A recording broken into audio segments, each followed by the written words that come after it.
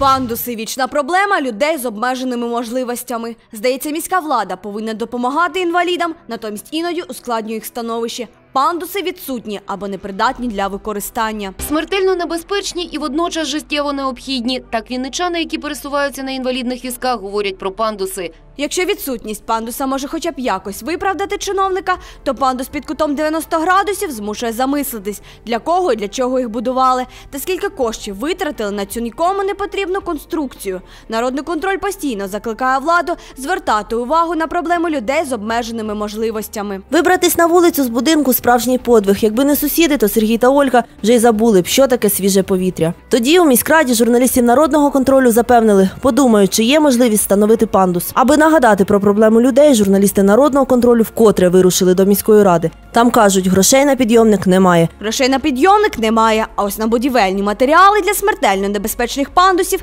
якось таки знаходять. Тож навіщо будувати те, чим неможливо користуватися? У соцмережах народне обурення небайдужих набирає обертів. Просто пандус в одному з дворів в центрі європейської Вінниці. Це не пандус, це ноу-хау, асфальтована гірка. У вашому дворі немає дитмайданчику? Нова безкоштовна пропозиція асфальтована гірка. Варіанти на всі сезони. Влітку підійде для юних скейтерів, ролерів, велосипедистів, які відточують екстремальні трюки. А взимку просто залий водою та отримуй гірку, таку, як в Буковелі. Просто разочок посадити наших керовників у візочок і прокатіть світірком по таких пандусах. Народний контроль вирушає в рейд, аби на власні очі побачити ноу-хау місцевої влади. Знаходимо цю асфальтовану гірку на вулиці Соборна, 97 та намагаємось рухатись вгору. Крок за кроком мені все ж таки вдається видертись наверх, але на візку такі експерименти можуть коштувати життя. Тож зрозуміло, чому бажаючих спробувати такий екстрим не знаходиться. Як може піднятися тут е, людина? Йому треба в'їхати от також. Да тут, блін, ногами важко зайти сюди, а ви кажете, ще на вузьку. Жартують, якщо хочете вбитися, то це безпрограшний варіант. Напевно, тільки хочу вбитися. Якщо на нього вийти не можна, як можна на нього виїхати? Це горка для дітей. Ну, з'їхати зможуть, але вверх виїхати вряд ли. А будуть живі, якщо з'їдуть?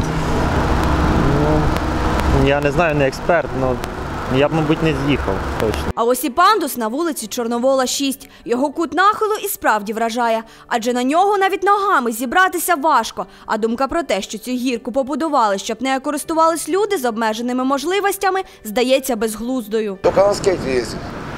Ну, чтобы я был на месте бы влада, я вообще поставил бы электроподъемники. Тож, надивившись на ці будівельні шедеври для візочків, йдемо в Вінницьку міську раду до директора департаменту житлового господарства Романа Фурмана, який традиційно для наших чиновників посилається на відсутність скарг від громадян. Звернень у нас не було, нічого коментувати. Потрібно вивчити питання. Невже досі чиновники, які займаються благоустроєм міста, вперше чують про людей з особливими потребами та доступне середовище? Обстежимо, визначимо, що там є і наскільки його реально можна удосконалити. Сподіваємося, що обіцянки Романа Фурмана таки трансформуються в дії, і Вінниця стане доступним містом навіть для усіх. Анастасія Клименко, Сергій Вишньовський, Народний контроль.